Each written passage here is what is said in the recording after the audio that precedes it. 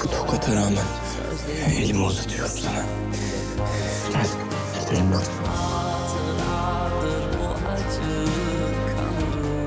Bence torunum hakkında doğru konuş. O kim ki benim torunuma el kaldıracak? Eğer ikisinin de ciğeri beş para etmezmiş.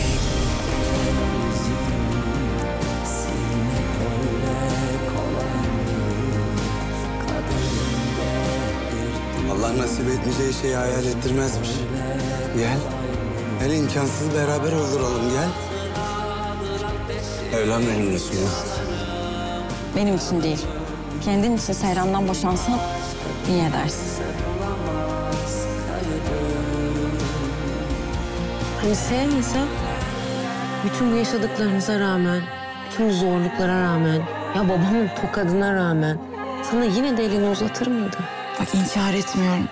Ben de onu seviyorum. Hem de çok seviyorum. Yalı Çapkını yeni bölümüyle Cuma Star'da.